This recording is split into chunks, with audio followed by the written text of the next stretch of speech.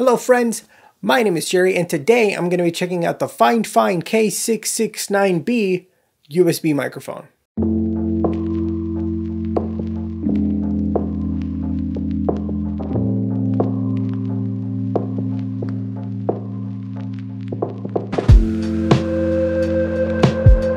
With live streaming being more popular than it's ever been, especially after, you know, the last few years. Having great sounding audio has never been more vital in today's internet based world. I'd even argue that it's more important than having great video. I mean, the difference would be between this. Hello friends, and welcome back to my live stream where today I'm gonna play one of my favorite games. And this. A good microphone isn't just limited to live streaming, of course. It can be handy for things like recording and podcasting and even video calls. But with so many options out there, it can be tricky to find a decent one at a reasonable price. I mean, just search USB microphone on Amazon and you'll get over a thousand options. But if you look closely, you'll see that this very fine fine microphone comes up as the second option. And yes, I'm saying fine fine on purpose. This is how one of their sellers precisely asked me to pronounce it, and this is where I should state that yes, Fine Fine did reach out to me to check out this product, but all opinions expressed in this video are entirely my own. Included in the box you get a little advertisement card, a user's guide, the mic itself, and a little desktop style tripod.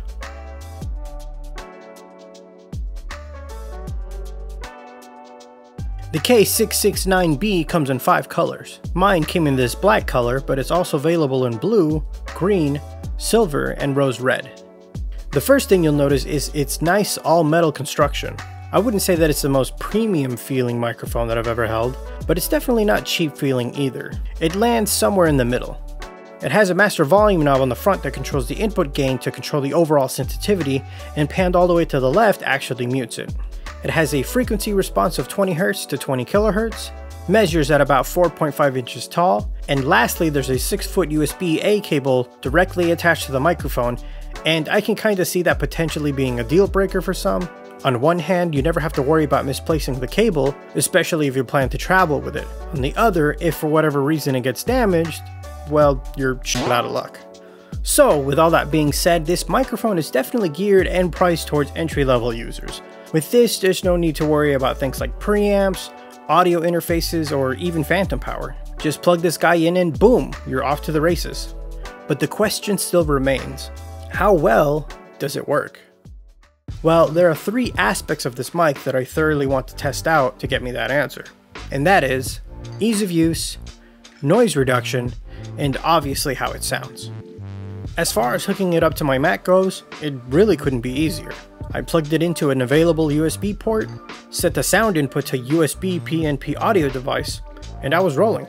No driver needed. The K669B also claims to work just as well with Windows and even PlayStation consoles.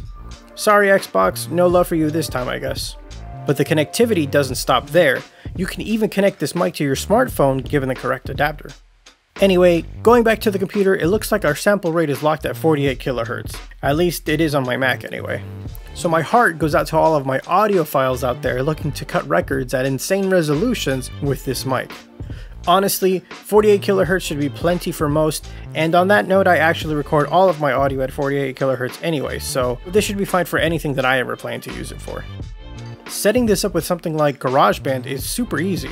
Just like I mentioned before, set the mic as your input device and that combined with a decent pair of headphones, and you have a really killer recording combo for not a lot of money. Game Capture HD from Elgato recognizes the fine fine all the same, which will make this mic great and easy to use for live streaming. This is also really great for things like video calls. I'm just using Zoom as an example. And right now I'm just using the onboard mic on my Mac, which sounds okay. But with the K669B, it can really take your video calls to the next level. And this can be really great, especially dealing with important clients and stuff. Next, I want to talk about how well it does with noise reduction. This microphone does have a little bit of noise floor, and I have been using a little bit of noise suppression to kind of keep it down. So now I'm speaking without any noise suppression, and this is the level of noise floor that you get. And yeah, while that's not terrible, there's still a little bit there. Anyway, there are a few other tests that I want to try, mainly concerning the polar pattern and how well it does with noise rejection, as in how much sound it picks up all around the microphone. For this test, I've attached it to this boom arm.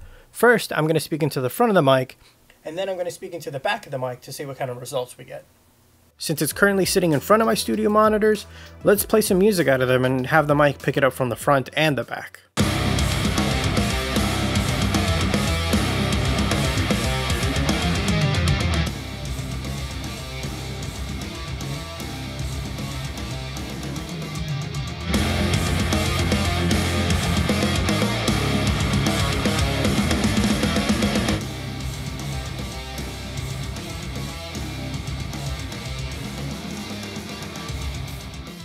To the left of my studio setup is an AC unit, and while thankfully it isn't really that loud, let's perform the same test with that.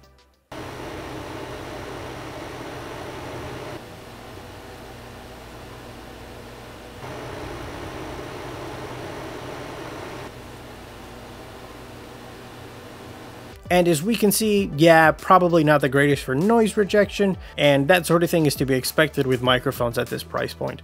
And while the manual states that the polar pattern is unidirectional, that's as specific as it gets. There's no mention of it being cardioid, supercardioid, bidirectional, so your guess is as good as mine.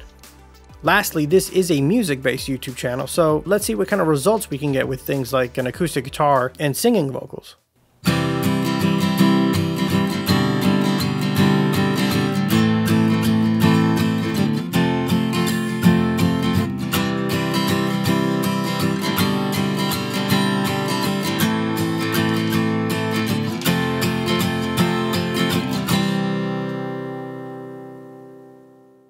Everyone, this is Georgi. Georgi, say hi to everyone. Hi! You might recognize her as she's collaborated with me on a project or two in the past.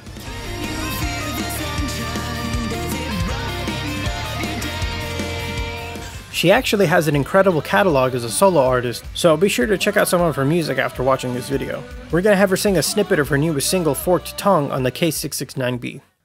With a four eyes and a forked tongue, you're a snake. That's the part of you I fell in love with. Your four eyes and a forked tongue, you're a snake, and that's just what you've turned me into. Oh.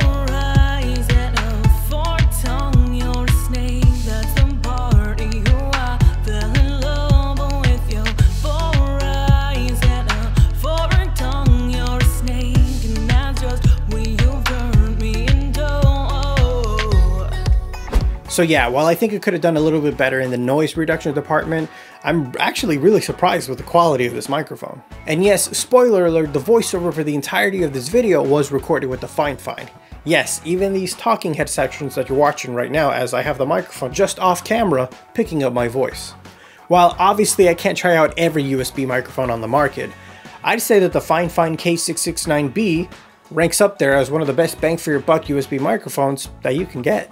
Thank you so much for taking the time to watch this video, and thank you to Georgi for giving me a hand with it. What do you guys think about the Fine-Fine K669B USB microphone? Or USB microphones in general?